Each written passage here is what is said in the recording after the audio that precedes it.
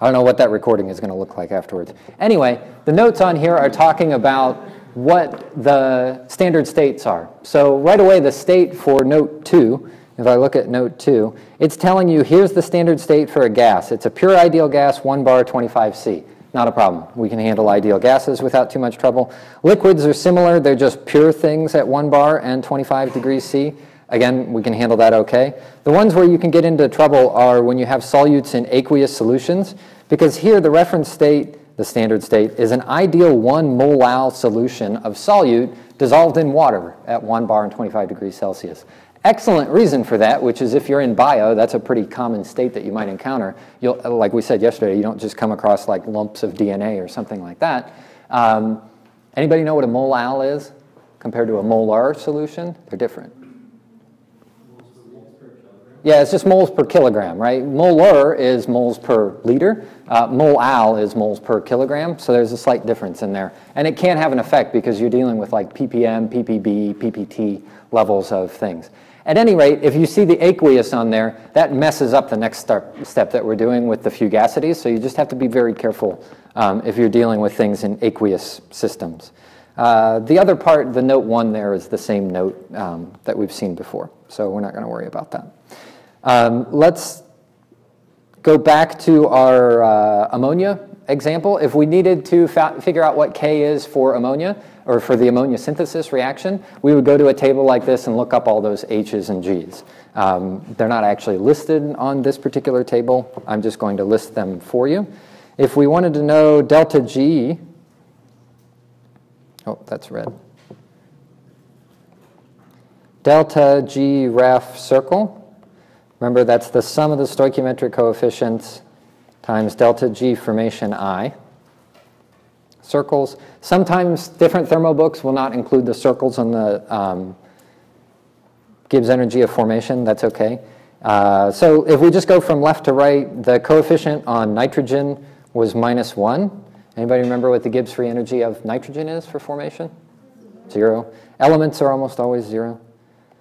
Uh, plus, we burn through three moles of hydrogen, which is going to get another zero. Uh, and then plus, we develop two moles of ammonia. And I had looked that one up, and its Gibbs energy of formation was minus 16.4 kilojoules per mole.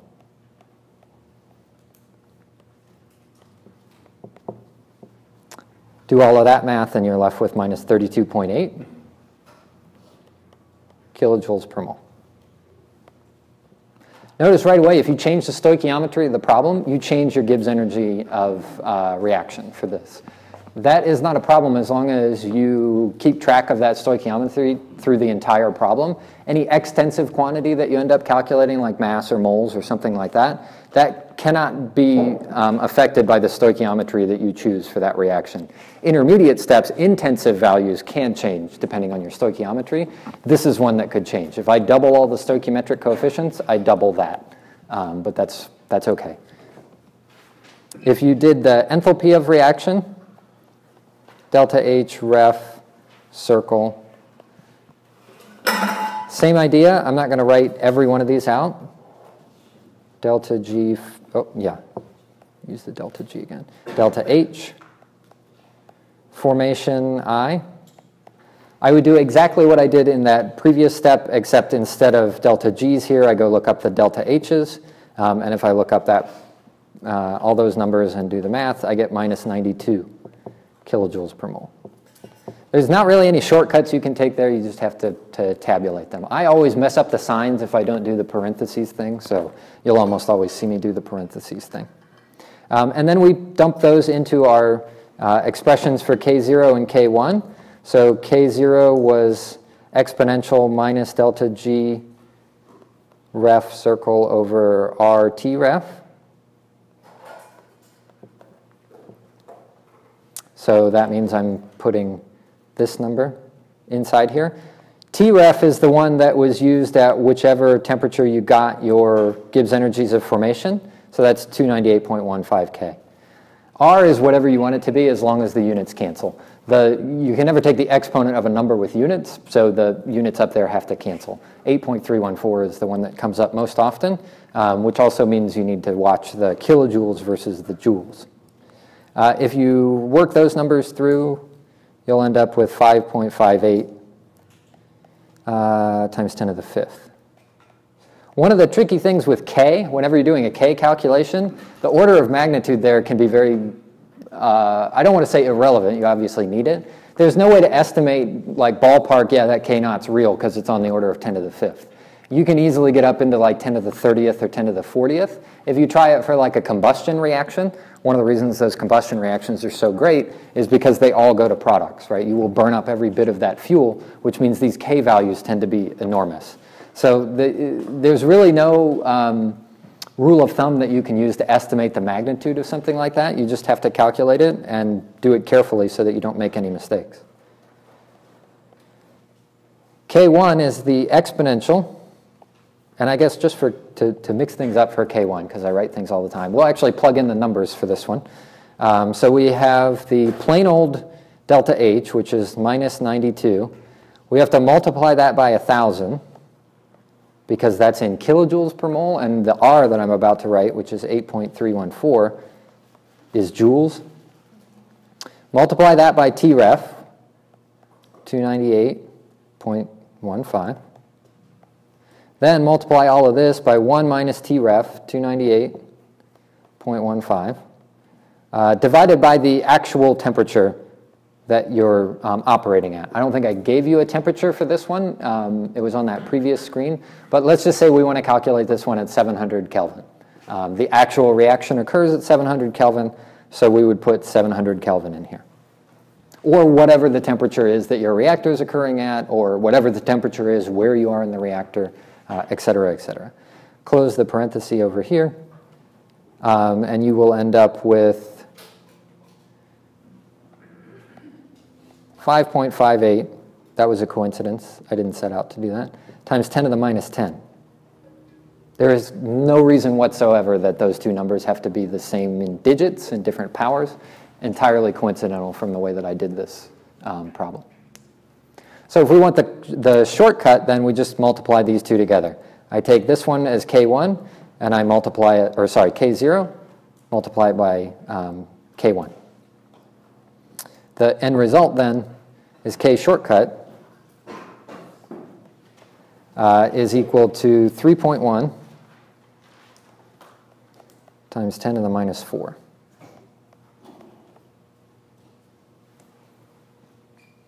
Right? And that's what we would say is K approximately K because it's equal to K naught times K1. And that can be enough, right? If you're doing something by hand, or as we'll see in a minute, if that's the only thing that you can do, the, the shortcut is good enough. If we wanted to use the full Van't Hoff equation, so the full, I love saying Van't Hoff, so I always write it off, write it down. The full Van't Hoff equation is saying let k actually be equal to k0, k1, k2. That's the one where we have to do something else. Um, so this one always goes to the k-calc spreadsheet. Um, the calc spreadsheet, I'll, I'll, take a minute right now and show you how to use that one. Um, you can use K-Calc within, actually I am going to have to stop the recording here because you can't see this. Okay, now that we are done with um, the KCalc spreadsheet, let's look at, as I said at the beginning of the lecture, we're going to spend our time working on this part over here, the pi and the fugacities and all that. We derived that yesterday um, when we were uh, starting off with just our Gibbs energy, uh, and we had eventually worked out that like sum of stoichiometric coefficients times um, chemical potentials, the mu's. We eventually worked all the way through to get to this, um, and now we have to take care of those uh, fugacities. We only have about two cases for fugacities, uh, so fortunately these go pretty quickly. When we are dealing with, oops, not green, the term pi is, sorry, pi fi hat over fi circle raised to the stoichiometric coefficients. The one on the top Fi circle is talking about the species in solution. So in some kind of a mixture, right? Anytime we have a reactor going on, we de by definition have to have a mixture because otherwise your reactor is not making anything. It's just sitting there of pure species. The denominator down here is the species in standard state. How do you know what the standard state is? Use the same standard state that was used when you looked up your Gibbs energy of formation and your enthalpy of formation. They vary. Uh, it depends on what you're after. Fortunately, we're only interested in about two. So case one uh, is gases. So if we have a gas, every term that sits inside there, the Fi hat over Fi circle, looks like this. The easy part is the fugacity in the standard state. Remember, we just actually saw in that table the standard state for gases is usually the ideal gas at 298 and 1 bar. Um, as a result, this becomes 1 bar. The P0. We've seen that P0. Have we seen P0 before? Yeah, I think we've seen P0. Anyway, it's 1 bar every single time. 1 bar. Very easy to determine if you've made a mistake on P0. If you wrote anything other than one bar, you made a mistake. Um, that's the only thing that P0 is for an ideal gas, is one bar. The fugacity of the, um, so the, the, species in a solution, right, at whatever um, temperature and mixture that we're interested in, uh, Thermo gets a bad rap sometimes. So yesterday I said Gibbs energy wasn't useful, so we replaced it with chemical potential. And then I said chemical potential wasn't good, so we replaced it with fugacity. And now fugacity is not particularly helpful, so we'll put it in fugacity coefficients instead. I didn't make these rules up, but I can see why that could be frustrating um, because we just keep replacing things with other things, um, which is not always helpful when you're trying to learn it. Anyway, if you think back to thermo, and we needed the fugacity of something in solution, we could write that as the fugacity coefficient times the partial pressure. So I just spread out the partial pressure right there. If you take a mole fraction times the total pressure, that's uh, partial pressure. Um, we have to do an approximation there because we don't know what phi is particularly well most of the time. Um, on the other hand, most of the phis that we will ever deal with are really close to 1. Um, so that correction factor, because of that phi, is not particularly big, whether it's the solution version or the pure species version. If you want to prove that to yourself, that's what that other tab is in kcalc. Dump in the species that you want at whatever temperature and calculate that phi. They're usually around like 0.9, something like that, 0.98, something like very close to 1. So we often ignore it and approximate this as the partial pressure of I divided by P0, or I should say P circle. When we put this inside our full summation, when we have uh, this expression, uh-oh, we're lagging on my movie. It's not a movie, I'm not watching a movie, I'm recording. When we put that in here, Remember, these are all raised to their stoichiometric coefficients. What we end up with is the following. We have, we're going to just deliberately split this into two different pieces um, because we normally label these things. Uh, we have one that looks like the sum of all the partial pressures, or sorry, the product of all the partial pressures raised to their stoichiometric coefficients times the product of all of the standard pressures raised to the minus stoichiometric coefficient. That looks weird because we have a superscript circle followed by a superscript nu. Um, that's okay though. This particular term always takes on a particular value. What is that value? It always has a numerical value of 1. What are the units? Something bar, right? It's something bar raised to the stoichiometric coefficient, whatever that sum is. So it's bar raised to the sum of minus stoichiometric coefficient. So it's got a weird unit of bar. As long as you carry bar everywhere, who cares what that unit is? It's going to be perfectly canceled by the partial pressure. As long as the partial pressure units are in bar, those units will end up working out just fine. So always use bar. As soon as you see a pressure, if it's anything other than bar, convert it to bar. This particular term has a special name. We can't simplify that at all. That's generally where we stop. but we call this K sub P.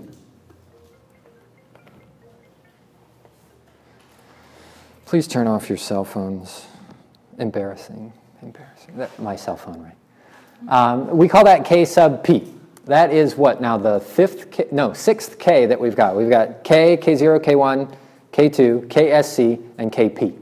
KP is the one that has partial pressures. We try to label those somewhat intuitively, so when you see K subscript P, it means it's the, the product of all the pressure, the partial pressures. Yeah. Where did the, oh, um, I replaced yi times p with pi. So the partial pressure of any species is the mole fraction times the total pressure.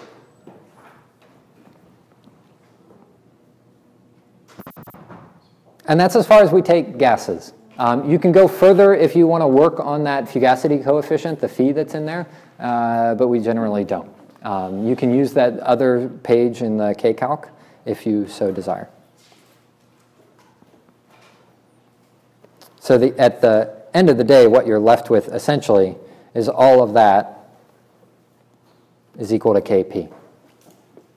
Right? I've omitted this other one. Sometimes you will find that one labeled as Kp0. Sorry, Kp circle. That's fine. You can label that if you want, but it always has the numerical value of 1, um, so we don't often, excuse me, carry that around. Uh, it's just not particularly relevant as long as you remember bar. So if we're interested in um, gases, the product of all those fugacities just looks like the K sub P, which is the product of all of the partial pressures raised to their stoichiometric coefficients. Um, one more for liquids, and then we're going to see uh, an example of this. Case two is liquids.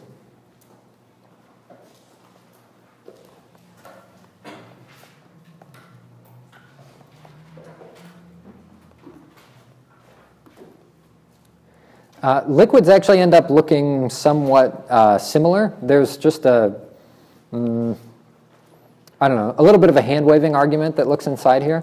We have to start at the same place, which is every time we need to evaluate the fugacity of any species in solution compared to its standard state. The fugacities in um, solution usually look like your activity coefficients, gammas, times a mole fraction times the fugacity of the pure species. So it's not necessarily the pure species at the standard state. There's no circle on that. Uh, so it's at whatever you know, temperature and pressure you're interested in. But it's no longer in solution. It's for a pure species. Uh, and all of that over Fi circle. The hand waving trick that we get away with here whenever we're dealing with um, basically anything in classical chemical engineering is that this ratio the fugacity of the pure species at whatever temperature and pressure you're in interested in versus the fugacities of that same pure species at the standard state is really close to 1. Those two references, we can calculate what those are. They, they just tend not to be particularly large. Uh, and so we're just left with an activity coefficient times xi. Nothing wrong with something like that, uh, except uh, you, if you recall back to 102, there's no simple form for that gamma i. Um, every time you want to use a gamma i, if you have a, a, liquid mixture, a liquid reaction, you have to iterate on the solution. There's, there's no useful closed forms of gamma i. Um, and so like any good engineer, we're going to approximate gamma i as 1. And just say all of our solutions are ideal. That is okay sometimes. Um, the problem is there's not, uh, the thing that liquids have going for them is liquids are typically pretty cold um, relative to the temperatures of gases. Gases in a reactor go up to, you know, eight, 900 Kelvin or something like that. And those deviate quite a bit from ideality. Most of the time, whenever you have something in a liquid, it's fairly cool, and those gamma coefficients aren't particularly big, at least due to the temperature. They can be very, very large because of the interactions with other molecules. That's where gamma becomes a problem. It's not so much the temperature dependence, it's the interaction with the other molecules. That's what can make gamma very large. So if you're trying to remember or try to figure out whether or not gamma is big or not, kind of have to ballpark it and say, do I think these two molecules behave similarly? Do they interact similarly? Are they structured similarly? Are they both long chain hydrocarbons that only differ by like one hydrogen? Um, at any rate, we're not going to iterate through any of those, so you'll always see um, gamma i as approximately 1. As a result, the product that we have,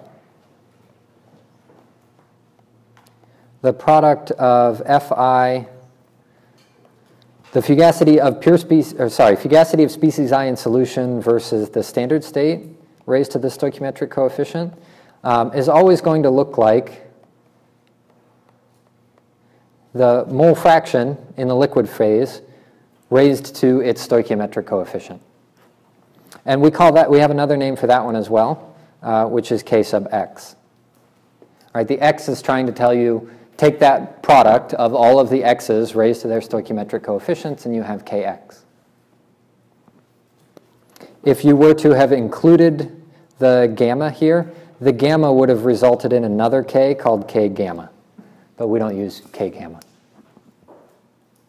That's pure li that's liquids as in liquids that chemical engineers often encounter. If you have a, a, a, system that is aqueous, which is slightly subtly different, right? You're interested in something that is in a liquid, but may or may not itself be considered a liquid. You have to use a different case for aqueous solutions, which is why you're not going to see any aqueous solutions um, because it requires, I, I think at that point we would clear like a dozen different Ks on here. This is fine. All of them work just like this. You just have different expressions for the fugacity ratios. Um, if you're working in some uh, area that's not um, like classic chemical engineering where these assumptions work, surely some thermobook has tabulated which fugacities you need, um, and you can go dig them up. These two are the relationships that let us go from the purely temperature dependent K that we calculated Thursday, or Wednesday, today's Thursday, to something that actually has something to do with concentration. So anytime that we have this for gases, uh, we always have K sub P is equal to K0, K1, K2. And for liquids, uh, we have Kx is equal to K0, K1, K2. You can make any of those assumptions that we've made, right? If I need the shortcut Van't Hoff, then it's just Kp is equal to K0, K1. If I need the full Van't Hoff, then it's something like this. Um, these two values here, the Kx and the Kp, those typically come from our stoichiometric tables, right? Remember when we wrote a stoichiometric, ta uh, stoichiometric table, we had species, uh, stoichiometric coefficient, species coming in, Ni naught, uh, species leaving, or if it's a batch reactor, it's species before and after the reaction. This n sub i is where we get the squiggle, right? Because this is equal to ni0 plus the stoichiometric coefficient times squiggle.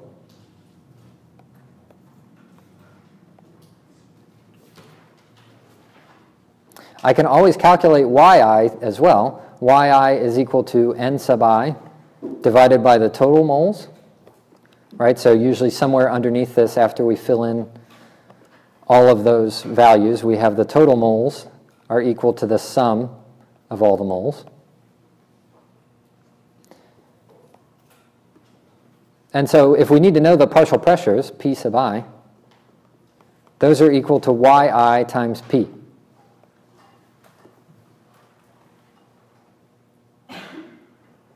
This is my equation. This is how I decide whether or not, or, well, this is how I evaluate the impact of that K on the composition of the reactor. So over here, I've got the PIs, which are based on a material balance. Those, once I've got all of those, will become a KP. Let me move the KP over here. So if it's our classic reaction of A plus B goes to C plus uh, D. That would be the partial pressure of C raised to C, partial pressure of D raised to D, partial pressure of A raised to little a, and partial pressure of B raised to B.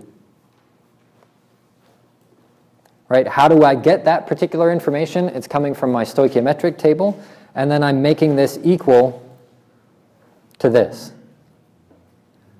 So I can go into um, KCalc or something like that, or if I have the shortcut information, um, I can get it from here, or from the Gibbs energies of formation and enthalpies of formation, and that'll tell me everything that I need. So this expression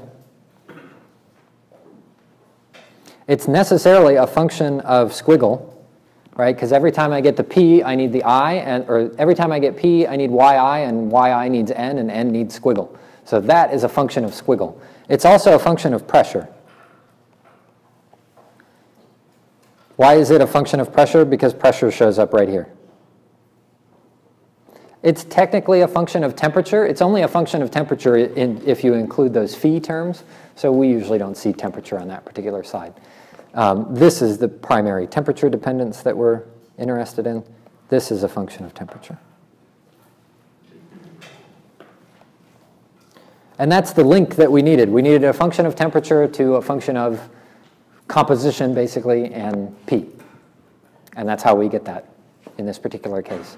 That doesn't change at all if you want to do liquids. The only element at all that changes if you want to do liquids is instead of yi here, uh, red's a little bit hard, we would instead do xi is equal to ni over nt. We'll see another version of x. There's another way that you can get x later. Um, the other version that you're going to see, we might as well say it now, is a concentration i over a total concentration. That's not going to show up anywhere on this homework. I'm saying that because we're going to come back to it next week, um, so we'll see it again. But if you're doing a liquid, you at least have one less column, right? I don't need a partial pressure for a liquid phase. Um, I can just stop with the xi's and plug them back up into that expression. So this is how we link um, those particular things together. Let's see if we have enough time for the example that I had we can get close. We will set up the example now, because I've still got four minutes. We'll finish it tomorrow, and then tomorrow I'll have another example for you to work through. Um, you can earn bonus credit for your exam if you come in tomorrow's lecture. I know, like, um, let's look at that same expression, or that same reaction um, except we're going to look at one mole of uh, nitrogen that comes in and three moles of hydrogen. Coming out will be some amount of hydrogen, some amount of nitrogen, and some ammonia. Same expression as before, so we can still come up with uh, K is, what did I say K was for the last one? Like Oh, I, th- I used the full Van't Hoff for this one, so it was uh, 0.9 times 10 to the minus 4.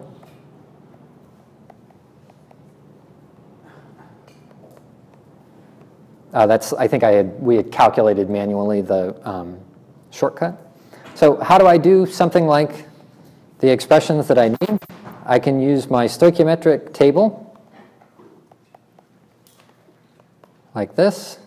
This process looks pretty much the same as long as you're lucky enough to be working in moles. It gets nastier next week when we have to do concentration because those aren't particularly nice.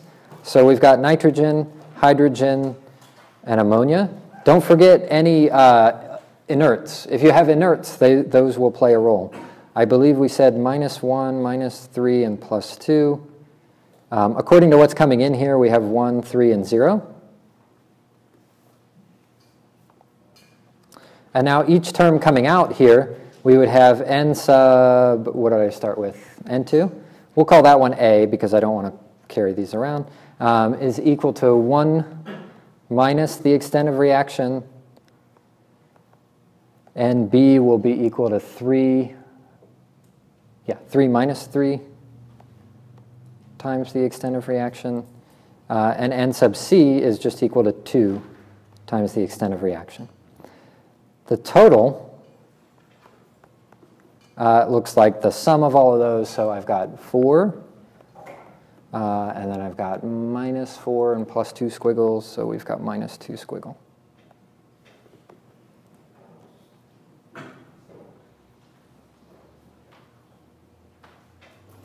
If I want the y sub i, I'm just going to write a single y sub i here, because they all look pretty much the same.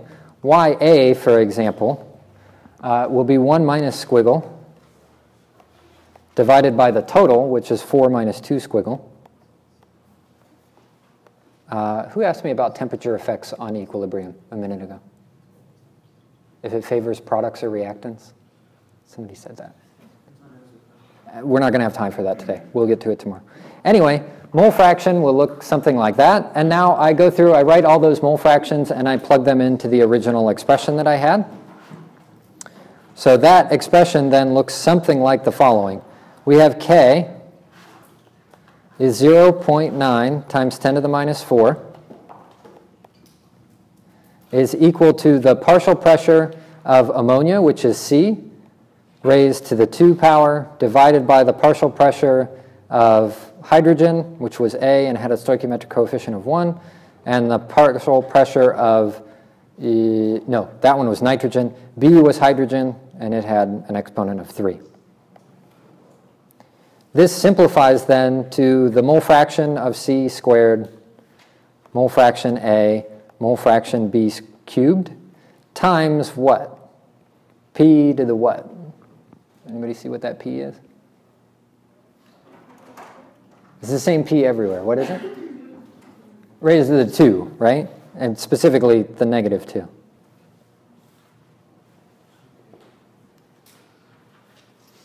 Each one of these y's is then a function of squiggle.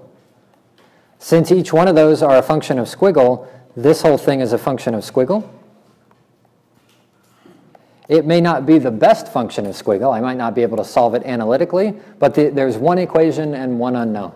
Um, and so I will leave it, uh, it's those favorite words that everybody has. I will leave it as an exercise for the reader um, to show that squiggle is one of these. It's either 0.33 or, hang on just a second, 1.67.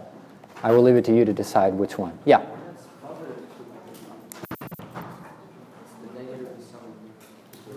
Uh, no, it'll be negative 2. Because each of these y's, each of those p's, are yi times p. So I have two p's on top, four p's on bottom.